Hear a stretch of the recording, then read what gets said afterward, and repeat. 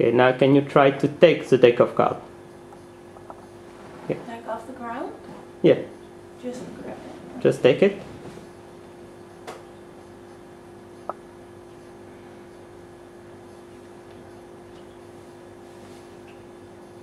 What's happening? It looks like it's glued or something. It looks like I can lift it. Is there a, a weight in it or something? Well, it's just a deck of cards for me.